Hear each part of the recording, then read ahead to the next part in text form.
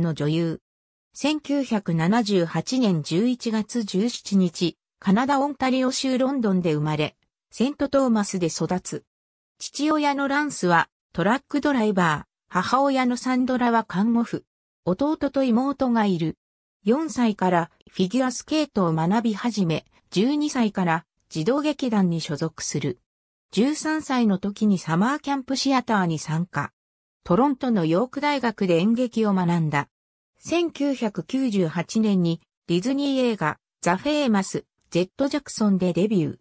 その後カナダのテレビや映画に出演後、2002年公開のホットチックでハリウッド進出、注目を浴びる。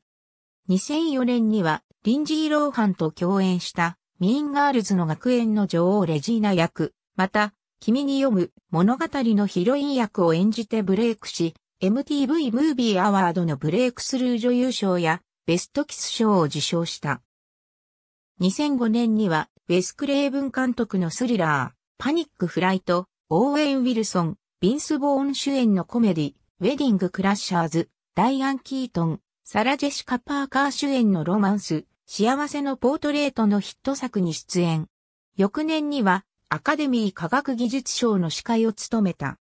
2009年、ロバート・ダニー・ジュニア主演のアクションミステリー映画、シャーロック・ホームズと2011年に続編、シャーロック・ホームズ・シャドウゲームでは、主人公のシャーロック・ホームズを翻弄する魔性の美女アイリーン・アドラーを演じた。全世界で2作は合計10億ドルを超える興行収入を記録している。2010年、コメディ映画、恋とニュースの作り方で主演。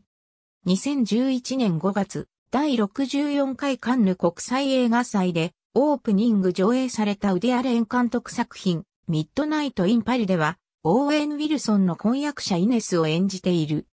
2012年、第37回トロント国際映画祭でのマクアダムス2012年にチャニング・テータムとの主演映画、君への誓いが高い評価を得た。2013年、SF 恋愛映画、アバウトタイム、愛おしい時間についてで主演メアリー役を演じた、彼女を監督リチャード・カーティスは、彼女は、どの作品でも素晴らしい演技を見せてくれるし、癒しの力を持っていると評した。2014年、スリラー映画、誰よりも狙われた男で、弁護士、アナベル役で出演した。